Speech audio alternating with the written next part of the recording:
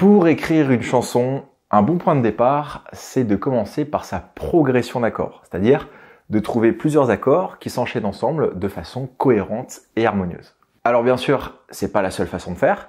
Il existe autant de façons de créer des chansons qu'il y a de personnes qui en créent, mais l'avantage de commencer par la progression d'accords, c'est que ça donne un cadre. Parce que une fois que vous avez votre progression, bah derrière, vous pouvez vous inspirer de sa sonorité pour créer la mélodie principale du morceau. Ok, super, mais comment est-ce qu'on fait pour trouver une progression d'accords? Bah, La méthode intuitive, c'est de prendre son instrument, d'enchaîner dessus différents accords jusqu'à trouver une combinaison sympa.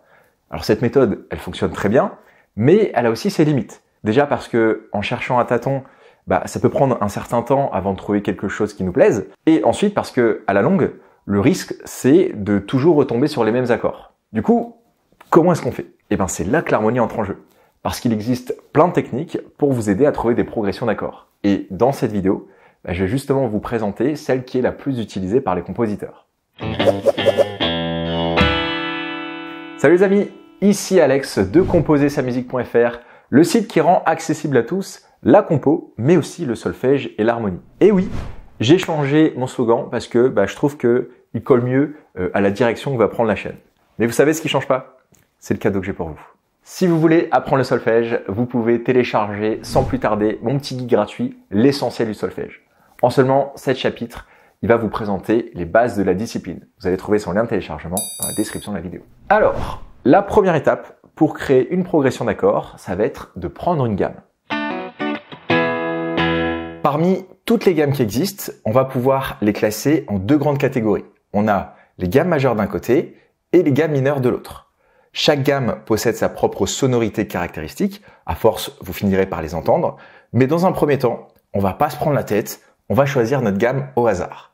Et pour que ce soit encore plus simple, je vous propose qu'on choisisse uniquement parmi les gammes majeures parce que c'est celles qui sont les plus répandues. Allez, par exemple, on va prendre la première gamme, la gamme de Sol majeur. En Sol majeur, on a un dièse à la clé qui est situé sur la note Fa. Du coup, la gamme va être constituée des notes Sol, La, Si, Do, Ré, Mi, Fa dièse, Sol.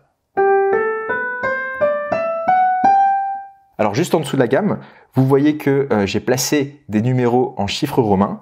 Ces numéros, c'est ce qu'on appelle des degrés et ils permettent de repérer la position des notes dans la gamme. Donc par exemple, en sol majeur, le degré 1, bah, ça correspond à la première note de la gamme, soit le sol. Le degré 2, c'est la deuxième note de la gamme, donc le la, etc., etc. Deuxième étape, on va harmoniser notre gamme. Harmoniser une gamme, ça veut dire créer à partir de chacune de ces notes un accord. Alors un accord, c'est au moins trois notes qui sont jouées simultanément. Donc pour chaque note de la gamme, pour créer l'accord, bah, à chaque fois, on va devoir ajouter deux notes supplémentaires. Maintenant, comment est-ce qu'on fait pour savoir quelles sont ces notes à ajouter? Bah, Pour ça, c'est très simple. On va se baser sur les notes de la gamme et on va piocher à chaque fois une note sur deux. Par exemple, à partir du sol, pour trouver les deux autres notes de l'accord, eh bien, on va prendre non pas la note suivante, mais celle d'encore d'après, le si. Donc ça, c'est la deuxième note de l'accord. Et pour trouver la troisième note de l'accord rebelote, on part du si et on prend non pas celle qui vient juste après, mais celle d'encore d'après, le ré. Et ben voilà, sol, si, ré, ce sont les notes de mon accord. Un autre exemple, allez, on va construire l'accord à partir de la note là. Donc la deuxième note de l'accord, ça va être non pas celle-là, mais celle qui vient encore après, ici le Do.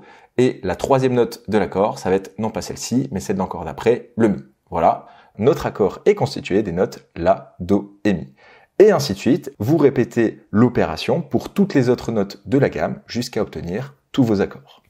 Troisième étape, on va identifier les accords obtenus. Après harmonisation de la gamme, on obtient sept accords différents. Alors, comment est-ce qu'on fait pour savoir à quoi correspondent ces différents accords? Ben, la première chose à savoir, c'est que la première note de l'accord lui donne son nom. Donc, logiquement, puisqu'on a construit les accords à partir des notes de la gamme, ben, les accords, ils vont avoir pour nom les notes de la gamme. Par exemple, ici, la première note de l'accord, c'est la première note de la gamme, c'est un sol, donc je sais que ça, ce sera un accord de sol. Ici, la première note de l'accord, c'est un La, hein, c'est la deuxième note de notre gamme, donc on sait que ce sera un accord de La. Ici, on a un Si, donc ce sera un accord de Si, et ainsi de suite. Ensuite, pour connaître la nature de ces accords, c'est-à-dire est-ce qu'ils sont majeurs, mineurs ou autre chose, bah, c'est super facile parce que la nature des accords qu'on obtient après harmonisation d'une gamme majeure, c'est toujours la même. C'est-à-dire que le premier accord de la gamme, il sera toujours majeur. Le deuxième accord, il sera toujours mineur. Le troisième, mineur. Le quatrième et le cinquième, majeur. Le sixième, mineur. Et le septième, diminué. Du coup, puisqu'on a d'un côté le nom des accords et de l'autre leur nature, bah, on obtient l'identité de l'accord. Donc notre premier accord, ce sera un accord de sol majeur. Notre deuxième accord, un accord de la mineur. Troisième accord, si mineur. Quatrième accord do majeur. Cinquième accord ré majeur. Sixième accord mi mineur. Et septième accord fa dièse diminué. Et vous voyez qu'encore une fois, j'ai placé sous la gamme harmonisée les degrés, c'est pour pouvoir identifier facilement la position des différents accords. Donc ici, l'accord de degré 1, c'est le premier accord de la gamme, c'est-à-dire l'accord de sol majeur. L'accord de degré 2, c'est le deuxième accord de la gamme, donc l'accord de la mineure, etc., etc. Quatrième étape, ça va être de mettre votre plus gros pouce bleu sur la vidéo pour soutenir mon travail, de vous abonner à la chaîne Composer sa musique et d'activer la cloche de notification. Je compte sur vous pour qu'on fasse péter ensemble la chaîne. Comme ça, bah, on va répandre la bonne parole. On va prêcher la musique pour la rendre accessible à tous. Et j'en profite aussi pour vous rappeler que si vous voulez apprendre le solfège, j'ai créé toute une formation en ligne sur le sujet, la formation solfège pratique. Dans cette formation, on part vraiment de zéro et on couvre un à un tous les concepts de la théorie musicale, la lecture de notes, le rythme, les intervalles, les gammes, les accords, etc. Depuis sa création, elle a été suivie par plus de 1000 musiciens qui ont tous réalisé de gros progrès.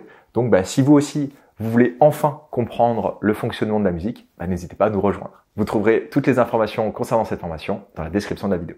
Allez, quatrième étape, on rentre dans le vif du sujet. On va créer la progression d'accords.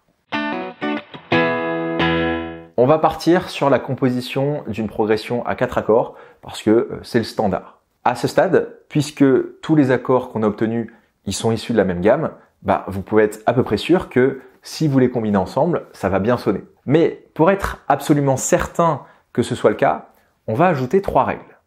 La première règle, c'est qu'on va éviter d'utiliser l'accord diminué dans notre progression. Donc dans notre exemple, on va éviter d'utiliser l'accord de Fa dièse diminué. Pourquoi? Parce que cet accord, il a une sonorité qui est très tendue. Du coup, il va être assez difficile à marier avec les autres. Mais si vous voulez, je peux vous faire une vidéo où je vous explique en détail comment utiliser l'accord diminué. Dites-moi dans les commentaires si c'est quelque chose qui peut vous intéresser. Deuxième règle, on va commencer la progression par l'accord de degré 1. Donc dans notre exemple, on va commencer notre progression par l'accord de sol majeur.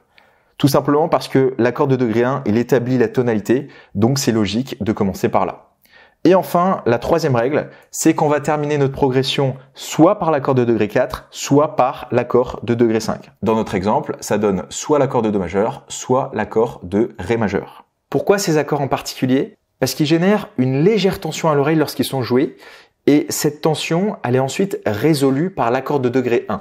Du coup, grâce à ça, puisque notre progression, elle commence justement par l'accord de degré 1, bah, on va pouvoir la faire boucler pour qu'elle puisse se répéter toujours de manière satisfaisante. Et pour le reste, bah, vous faites comme vous voulez. À vous de piocher selon votre inspiration les accords qui vous plaisent pour compléter la progression. Je vous montre ça tout de suite. Hop là par exemple, après mon accord de Sol majeur, personnellement, j'ai choisi d'utiliser l'accord de degré 4 de majeur pour le deuxième accord de la progression. Pour le troisième accord, j'ai pris l'accord de degré 6 mi mineur. Et pour le quatrième et dernier accord, j'ai pris l'accord de degré 5 ré majeur. Du coup, ma progression dans son ensemble, ça donne Sol majeur, Do majeur, Mi mineur et Ré majeur.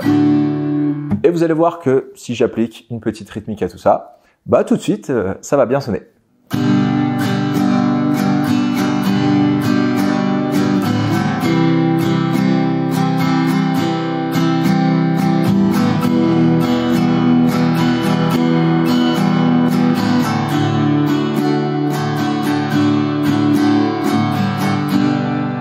Vous avez vu? C'est plutôt sympa. Hein? Est-ce que vous voulez un autre exemple?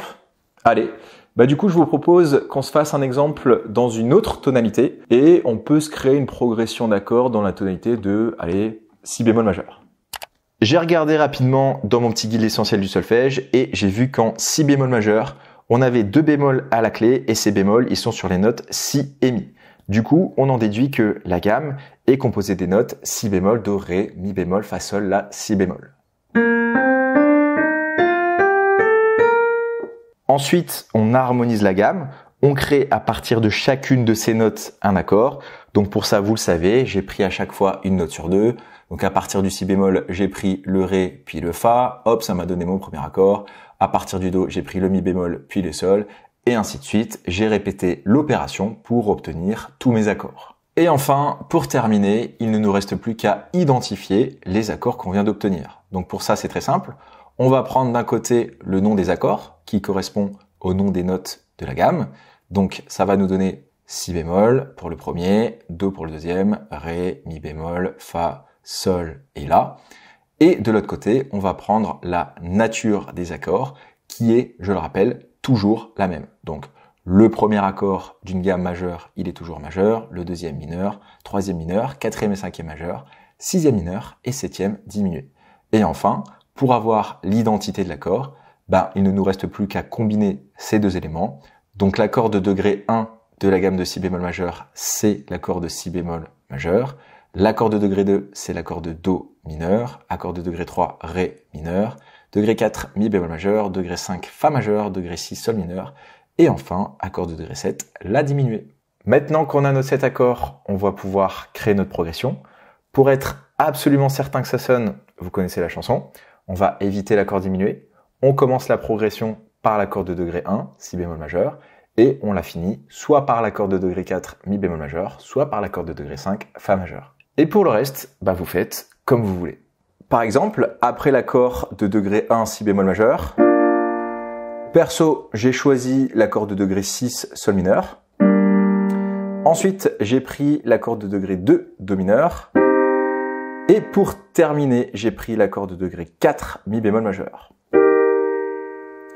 Encore une fois, j'applique une petite rythmique et vous allez voir, ça va rendre un petit truc assez sympa.